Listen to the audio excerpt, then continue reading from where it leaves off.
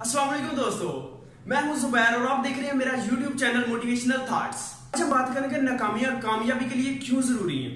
आप भी नाकामी का शिकार हैं और आप भी कामयाब होना चाहते हैं तो इस वीडियो को एंड तक लाजमी देखें। दोस्तों, नाकामी एक ऐसा लफ्ज है जो हर इंसान के लिए नापसंदीदा और नाकाबले कबूल है। नाकामी के साथ साथ हमें नाकामी का खौफ भी होता है। नाकामी हर इंसान की ज़िंदगी का हिस्सा है। या यूँ कह सकते हैं कि कामयाबी के लिए हमें नाकाम होना पड़ेगा। अगर हम नाकाम नहीं होंगे तो हम कामयाबी हासिल नहीं कर सकते।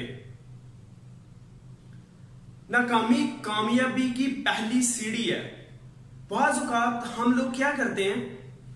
हम नाकामी को बर्दाश्त नहीं करते।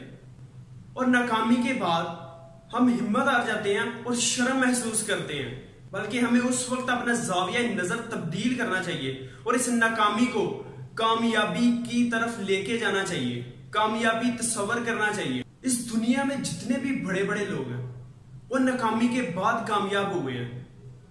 जितनी भी अजीम हस्तियाँ हैं, जितने भी कामयाब तरीन लोग हैं, वो नाकाम होने के बाद कामयाब हुए हैं। हम मिसाल लेते हैं एडिसन की एडिसन ने जब बल्ब बनाया, आपको क्या लगता है, उसने पहली कोशिश में बल्ब बना लिया था? नहीं। उसने नौ हज़ार नौ सौ निन्यानवे दफ़ा कोशिश की थी, फिर जाके वो बल्ब बना पाया था, बल्ब को रोशन कर पाया था। किसी ने उससे पूछा कि आपने इतनी कोशिशें की? आप यूज़ नहीं हुए? उसने कहा, बिल्कुल भी नहीं। बल्कि मैंने इतने तरीके ईजाद किए कि जिनसे बल्ब रोशन नहीं हो सकता। तो अगर उस वक्त एडिसन हिम्मत हार जाता तो आज पूरी दुनिया रोशन ना होती। जब हम नाकामियों की अहमियत बता रहे होते हैं तो अक्सर यह सवाल किया जाता है कि नाकामी क्यों ज़रूरी है?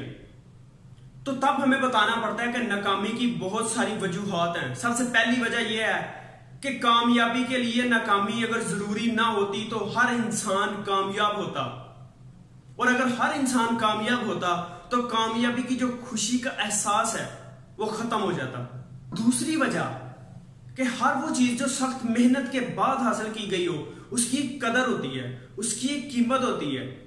हमारे टीचर जब आजकल के स्टूडेंट्स की हिम्मत को बढ़ाने के लिए कहते हैं कि बेटा आप कामयाब होगे, आप आगे बढ़ पाओगे तो वो क्या कहते हैं? सर, आप तो मज़ाक कर रहे हैं। हम तो आगे बढ़ ही नहीं पा सकते। हम तो आगे निकल ही नहीं सकते। हमारी ज़िंदगी तो नाकामियों से भरी हुई है।